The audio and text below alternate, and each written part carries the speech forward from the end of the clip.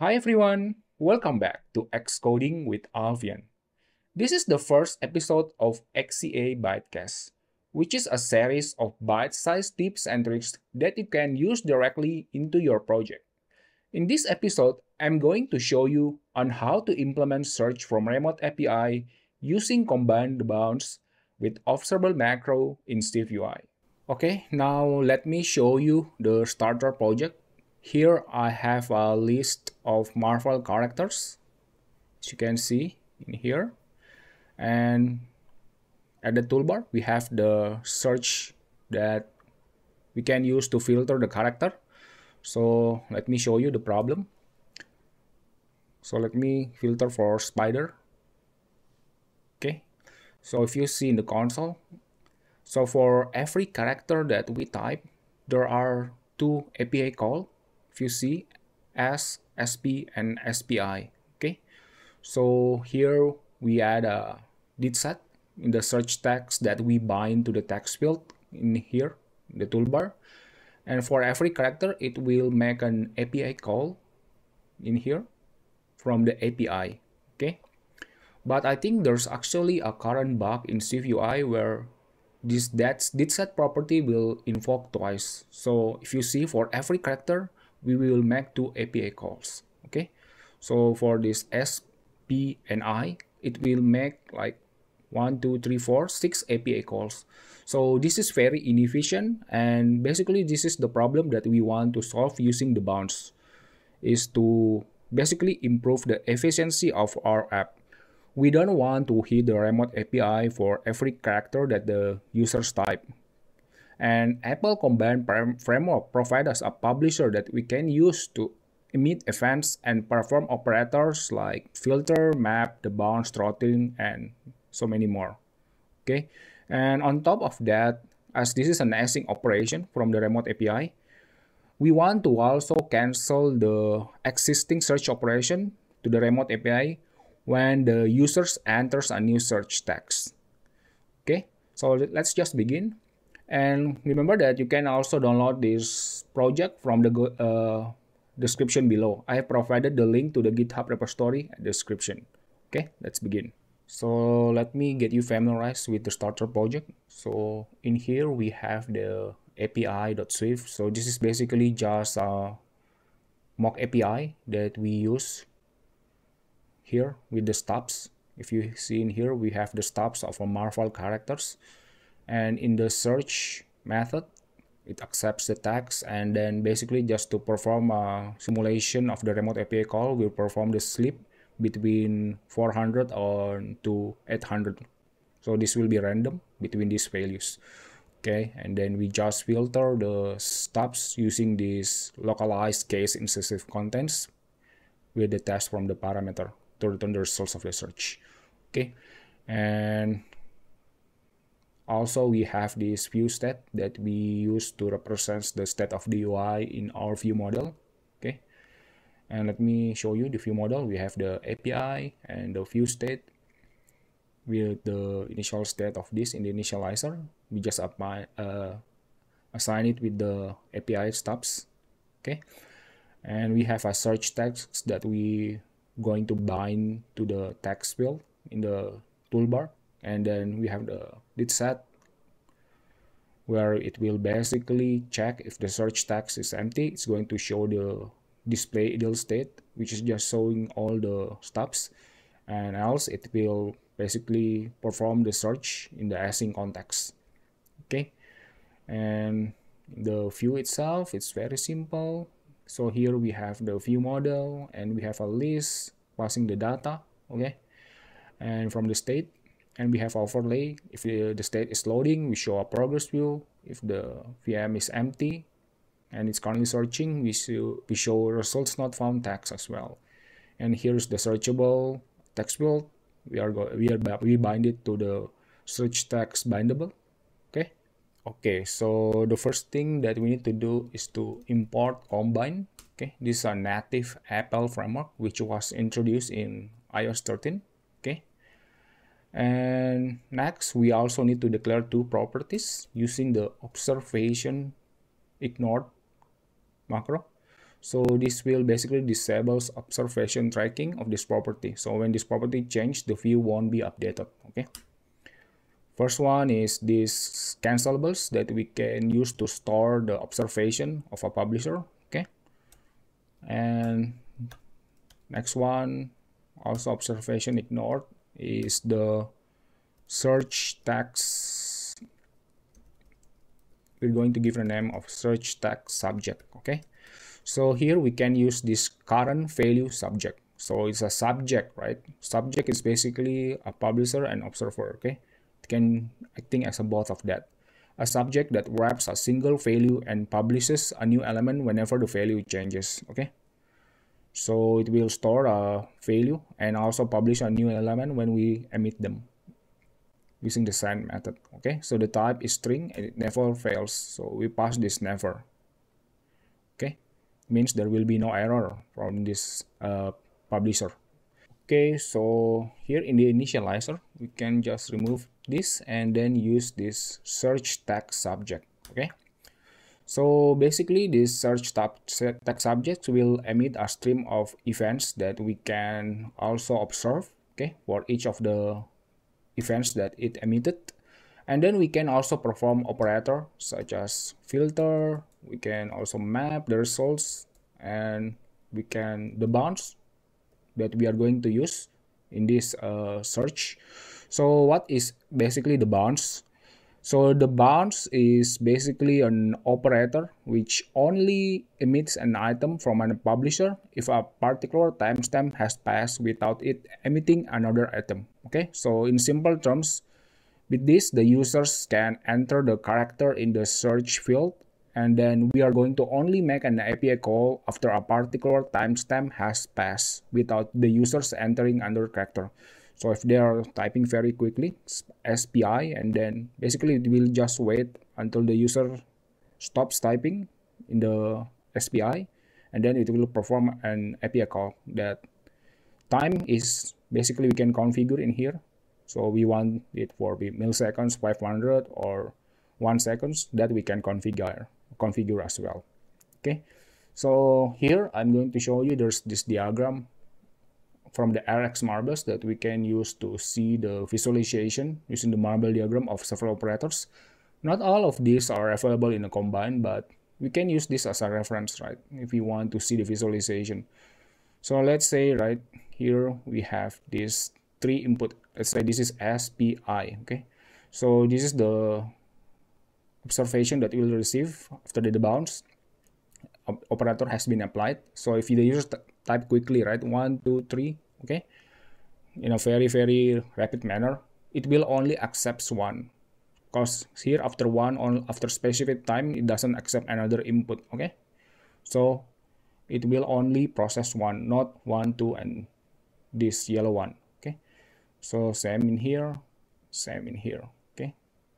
So this is going to be very useful for search feature inside an application, especially if the search feature is an async search where it will call remote API. Okay, so there you go. I've provided the link to this at the description below for you to check.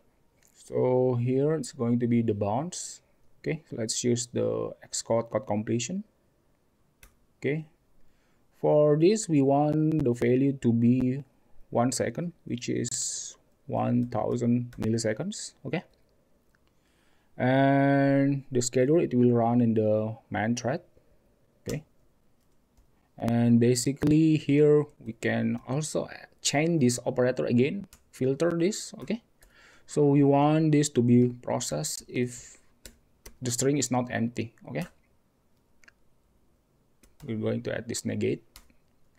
And then we're going to use sink so this will attach a subscriber that will basically listen to this value okay? Disclosure with got invoked with this value after the chaining of the operators. Okay and one thing that we need to do we need to store this subscription in this cancelable okay? So we need to pass this pointer of cancelables okay? And then what we want to do in this thing basically we need to do one more thing. So basically as this is an async operator operation and basically when the search is happening the users can enter a new search and basically we need to cancel the previous operation right to improve our efficiency. So we need to add a new property in here which is a task okay? So here below the state let me add this new search task. This will be the swift task. So with this task we can cancel the task so the type will be void and never. Optional okay? And the strategy is basically here. Every time this happen we want to cancel the existing search task okay? Cancel this. And then we want to basically uh, perform the search and then assign this into this task okay before we did that we need to do some modification to this search async okay? We can basically change this to produce a task okay? So let's change this. Create search task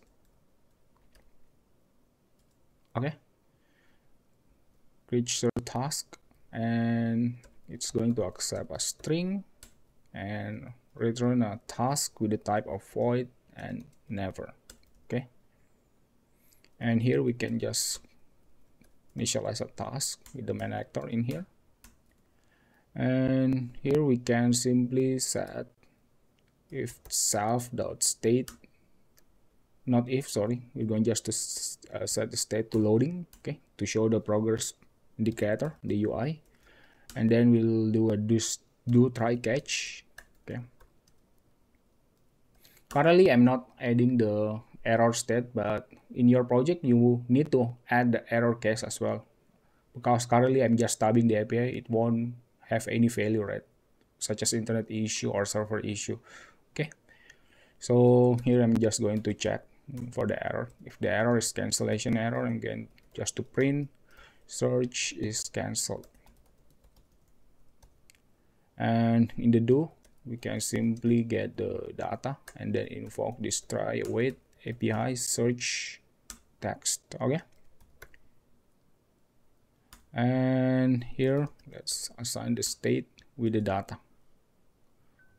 Okay we already have that and we don't need this anymore.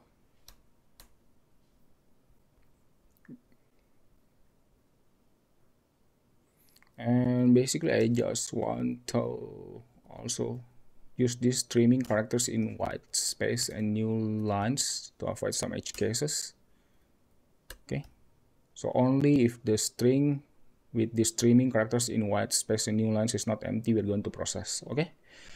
And then let's assign this search task with the new method that we have created. Let's just change this to this. So we don't need to use this optional. And here we can invoke create search task passing the text okay? Looks very clean right?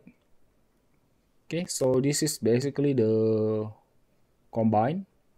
And one more thing that I forgot to add because we've handled the cancellation cooperatively we need to make sure we are good citizens and adhere to that rules and then in here we can just use this task check cancellation after this API call get completed with the data okay? So if the user already cancel perform a new search operation it's going to just cancel this not setting this to the state property. Otherwise the UI will get overridden with the old search okay? And that can be an issue. Okay now there's one uh, uh, also one thing that we want to handle basically when the users clear the search text field, we want to basically just display the initial state of the UI, okay, with the all the steps. So instead of uh, putting the logic in here, I'm going to also create a new subscription in here, okay. So here, search text subject, but in this one, I want to make sure this one is empty, okay. Only when it is empty, that I'm going to subscribe. This one will get emitted. And also store this in the cancelable set. And in here we also want to cancel right? Because the user has already ended the search operation clearing the search text field. And in here I just want to invoke display idle state. So display idle state it will just assign the state with the stubs okay and in this search text we don't need to we don't need this logic anymore. Okay because we already handled that. There's one more thing. So here in the search text we still need the did search uh, did set and in this we're going to just use this search text subject. So this is a publisher and then we can emit a new event based on this search text okay? So this will basically receive an event and process this inside this subscription okay? Based on this operator. Okay that should be the final thing that we need to add. And now let's trust let's just try this so let me try to search for doctor. Okay if you see here there is only uh, one API call and spy spy speed. Okay there's only one API call in here Spider-Man Spider-Woman. And let's see iron so there's one API call for iron with these two results okay this is more efficient now because it uses the, debounce as well okay so captain Captain America, Captain Marvel, Marvel, only one API call, not four API call. Okay. Okay, and when we clear the search text, it shows all the default idle states with all the stubs that we have added in here. And if you see here, when I clear the search text field while the operation is still happening, the search is cancelled. Okay, so that's it for this video tutorial, we have successfully implemented the search capability using combine operator in the with the new Swift UI observable macro. Okay, so excuse me, so the observable actually actually is not only available on Swift UI. So with the observable macro, and that's it for this video. And subscribe if you haven't, like this video if you like, and thanks. See you on the next one. Goodbye.